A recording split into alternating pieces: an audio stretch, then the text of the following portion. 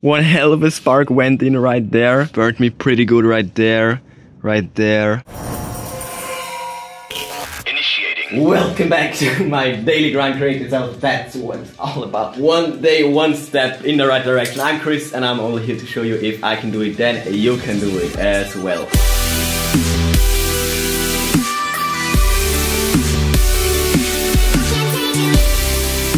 Is Friday, it is a beautiful day today and when I bought the soil for my mom I also bought stuff for a new project and I had this project in mind for quite some time now. This goes like right there. The idea is to build a spool holder with ball bearings for you know smooth rolling action because this thing it's like there is so much friction. I have no idea if this is going to work or not so let's just try.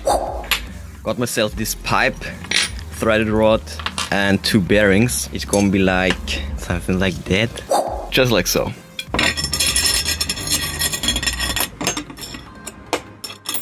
And there we go, it is perfect. Bigger washers right there.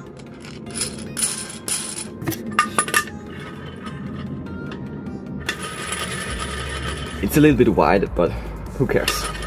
And now comes the difficult part. I somehow need to fix it and I think I'm going to weld it. Man, that would be so sweet. Check it out, I just came back from welding. This was sketchy as fuck. I put on my stuff, didn't help though. I screwed up my my pants.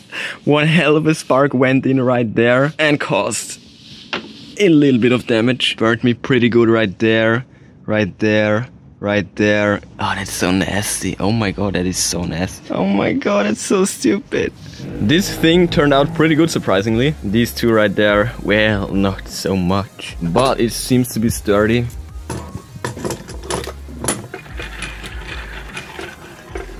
That is so nice. Oh my god. Alright, let me clean it up. I will see you in a bit.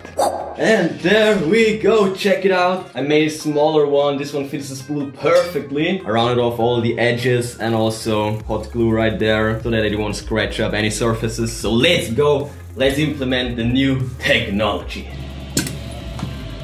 That is actually perfect. Oh my god. Oh god.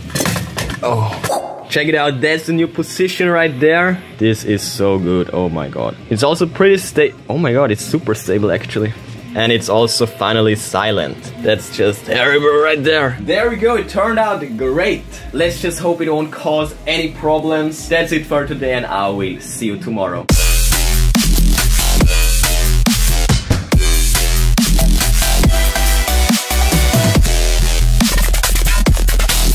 Take